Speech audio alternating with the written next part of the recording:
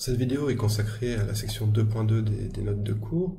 Pour resituer cela dans, le cadre plus général, ce qu'on souhaite, c'est définir ce que c'est que la, logique propositionnelle. Pour faire ça, on a besoin de définir deux choses. D'un côté, on a besoin de définir une syntaxe, une représentation finie de ce que c'est une formule. Euh, et en l'occurrence, je vous ai dit qu'une formule, c'est un arbre d'une forme particulière.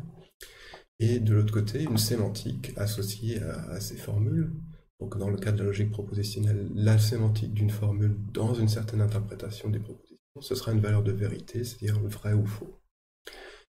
Quand on manipule des formules informatiquement, on veut vraiment les voir comme des arbres. Quand on les manipule mathématiquement, c'est la même chose. On a envie de pouvoir faire des raisonnements inductifs sur la forme des formules. Par contre, quand on veut écrire des formules, nous, à la main ou avec un clavier, c'est beaucoup plus pratique d'utiliser des chaînes de caractères. C'est là qu'intervient la section 2.2, donc sur la syntaxe concrète, comment est-ce qu'on représente les formules comme des chaînes de caractères quand on en a besoin? Alors je vais faire un, petit zoom sur cette, partie. Et je pense que ça s'explique assez bien avec un, exemple, comment on peut passer de la syntaxe abstraite à la syntaxe concrète. C'est ce que je vais appeler le, pretty printing dans la vidéo précédente. Donc je reprends mon, mon exemple. Ici, je vais P ou non Q et P. Comment est-ce qu'on pourrait construire euh, une chaîne de caractères à partir de ça? Ben, De manière récursive, je pourrais associer à cette feuille ici, je pourrais associer la chaîne de caractères Q, à cette feuille-là, je pourrais associer la chaîne de caractères P, et à celle-là, la chaîne de caractères P.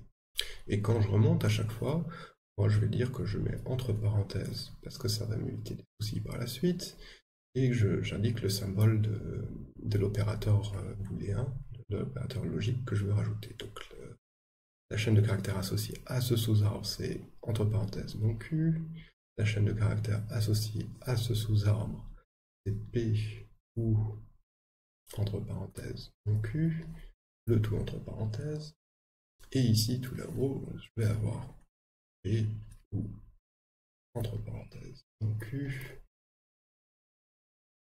Et P et le tout entre parenthèses. Ça, ce serait une façon très systématique de construire la syntaxe concrète d'une formule à partir de sa syntaxe abstraite, depuis sa représentation en tant qu'arbre. En jaune, ce sont les chaînes de caractères associées à chacun, à chacun des sous-arbres, à chacune des sous-formules, ma formule. Euh, ce qu'on peut se dire, c'est c'est pas exactement comme ça que je vous ai présenté la formule quand j'avais fait donner l'exemple. Moi, j'avais dû l'écrire de manière beaucoup plus simple, comme P ou non Q, et P. Vous voyez que j'utilise beaucoup moins de parenthèses. Ça, c'est parce que c'est un petit peu lourd d'utiliser des parenthèses tout le temps et on comprend bien ce qu'on écrit. Alors, est-ce qu'on comprend toujours bien ce qu'on écrit? Euh, bah, Pas toujours, donc il faut faire un petit peu attention à, ce qu'on fait malgré tout.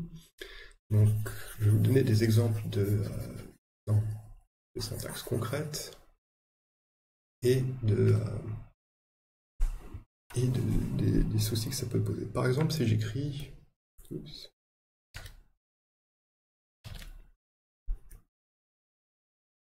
ou Q ou R. Et là, je vais dans l'autre sens, je pars de la syntaxe concrète et je veux obtenir l'arbre de syntaxe abstraite, donc ça c'est le parsing.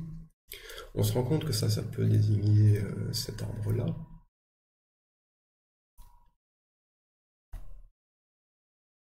correspondrait en réalité ce parenthésage-là. Ou ça pourrait aussi désigner cet autre arbre.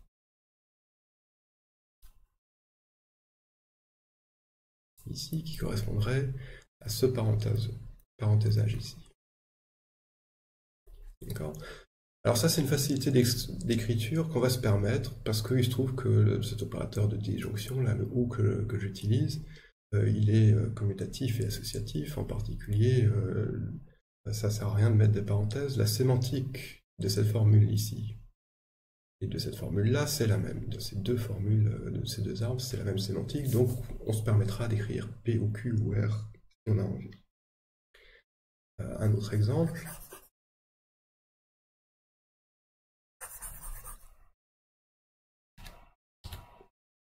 Si j'écris P ou Q et R, ben c'est un petit peu le, le même problème. Il y a deux façons de parenthéser. Soit j'écris par exemple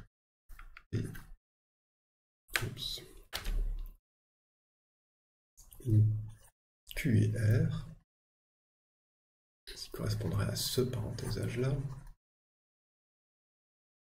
Soit j'écris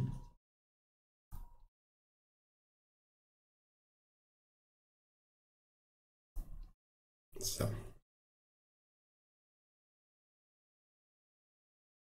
Alors là, attention, contrairement à ce, qui se passait avant, ces deux formules-là ne sont pas équivalentes. C'est-à-dire qu'elles n'ont pas la même sémantique. On va voir par la suite. Et du coup, ce que vous voyez là, c'est qu'on va devoir explicitement parenthéser, utiliser ces parenthèses, euh, celle-ci par exemple, ou celle-là, pour indiquer ce qu'on veut. Alors des fois, certaines personnes, une autre solution que, vous connaissez par rapport à, si j'écris euh, x x plus 1, par exemple, vous comprenez bien que la multiplication ici, elle lit plus fortement que, l'addition. Comprenez que c'est plus multiplication x et 1 et pas multiplication de x et 1. D'accord? Parce qu'il y a la priorité des opérateurs qui fait que vous allez comprendre cette, cette formule, cet, arbre-là. Donc ici, de la même manière, ce que gens, ce qui est assez accepté, c'est de dire que la conjonction lit plus fortement que la disjonction. Donc ça peut être accepté que vous cette formule-là, en fait, sous-entendu, il y ait cette, euh, euh, ces parenthèses-là qui soient implicites. Là-dessus, ma recommandation personnellement, c'est indiquer les parenthèses quand il y a un doute entre disjonction et, conjonction, c'est plus sûr. Autre exemple, toujours du même goût.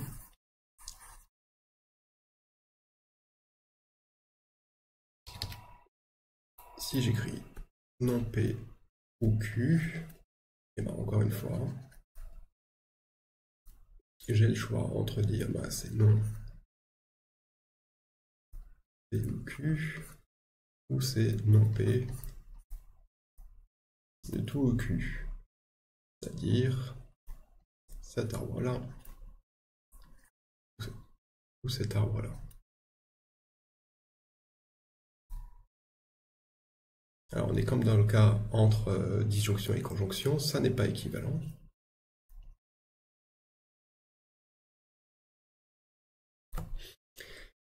Et là, par contre, il y a une pratique qui est très claire, c'est que la négation, elle plus fortement que tout le reste. Donc quand on a une négation, on sait que ça porte uniquement sur la formule qui est la proposition qui est juste en dessous. Si on veut faire non de P ou Q, donc si on veut cette formule-là, il faut explicitement écrire les parenthèses, mais si on veut cette formule-là, il n'y a pas besoin de les écrire. Enfin, bah, il y a des facilités d'écriture qu'on se permet aussi euh, par ailleurs. Euh, c'est la chose suivante, des, formulations euh, qui sont assez pratiques. Si j'ai phi 1, phi n des formules, alors on va pouvoir écrire quelque chose comme ça. Une disjonction pour i de 1 à n des phi i. Ça, ça veut vraiment dire phi 1 ou phi 2 ou ainsi de suite jusqu'à phi n. Et une conjonction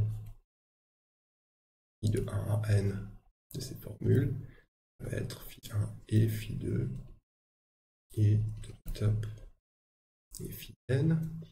Et ici, j'ai pas mis de parenthèse parce que je vous avais dit que la disjonction, elle est associative, donc ça n'a pas d'importance. Au niveau sémantique, peu importe où vous placez les parenthèses, ça reviendra au même. C'est aussi vrai de la conjonction, c'est une opération associative. Pas d'importance où vous placez vos parenthèses, ça reviendra au même au niveau de la sémantique. Euh, donc ces symboles grand ou grand et ici, grande disjonction, grande conjonction, euh, ça peut être sur un, ensemble d'indices, ça peut être sur des choses plus compliquées, ici on peut mettre des conditions plus, complexes si on a envie, mais c'est une facilité d'écriture qu'on va se donner assez souvent quand on veut écrire des formules un petit peu compliquées. Voilà pour ce que j'avais à dire sur la syntaxe concrète. Euh, dans la vidéo suivante, on parlera de sémantique.